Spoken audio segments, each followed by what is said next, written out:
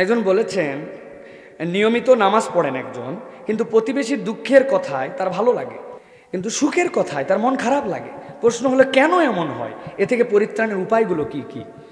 প্রিয় ভাইয়েরা, আপনাদের কাছে খুব চমৎকার একটা প্রশ্ন এই ভাই করেছেন, প্রিয় ভাইরা অনেকে আমরা বলি, গর্ব করে, আল্লাহ যাই করি করি, আমার কারও মনে, আমার কারও জন্য হিংসা নাই, আমরা মুখে খুব ফাটাফাটি এই ঘোষণা দিই। দেই না ভাই? কিন্তু এই যে হিংসা আছে কি নাই, এটার মানদণ্ড কি?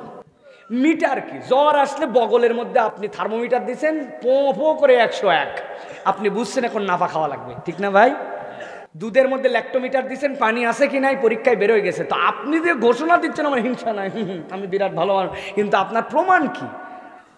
তারা মুহাক্কিক আলেম, তারা বলতেছেন, প্রমাণ হচ্ছে কারও কল্যাণে, কারও উপকারে, কারও ভালোতে আপনার ভিতরে জলে কি জলে না।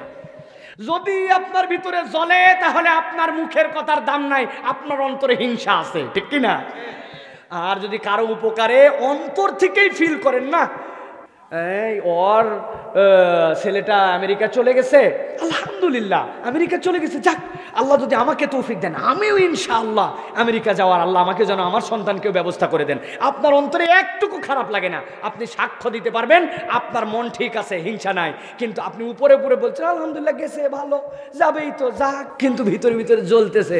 যদি না যেতে পারতো, আমারটা যদি যেতে পারতো, গেছে তো গেছে, কাজ পাবে। যাই, দেখ, ওই রেস্টুরেন্টের মধ্যে থাল বাসন ধোয়া লাগবে, ভিতরে ভিতরে জলে আছে কিনা ভাই এরকম? নামাজ পড়ে, কালাম পরে দাড়িওয়ালা, টুপিওয়ালা, জুব্বাওয়ালা, অন্তর জ্বলায়, শয়তান হিংসা ঢুকায় রাখছে। কেননা এইটা দিয়ে তাকে জাহান্নাম থেকে দূরে সরানো যাবে। মুমিন হিংসা করবে না, মুমিন কামনা করবে, ঠিক কি না? আপনি বুদ্ধি খাটান, বুদ্ধি খাটাই কামনা করেন আপনি। এক রাজা দুইজনের ফাঁসি দিছে। দেওয়ার পরে রাজা বলছে যে, তোমার শেষ ইচ্ছা কি বলো? যেটা বলবে এটা পূরণ করা হবে। ওই লোক ছিল বুদ্ধিমান। ও বলছে, রাজামশাই, আমি এক গ্লাস খেজুরের রস খায় মরতে চাই। রাজা বলছে, চৈত্র মাসের দিন, শীতকালে হবে রস, ছয় মাস পরে এখন তুমি আজকে, কালকে তোমার ফাঁসি হবে, তুমি কোত্থেকে তুমি খেজুরের রস খাবে? বলছে, রাজামশাই, ওই শীতকাল পর্যন্ত বেঁচে থাকতে আমার কোনো আপত্তি নেই।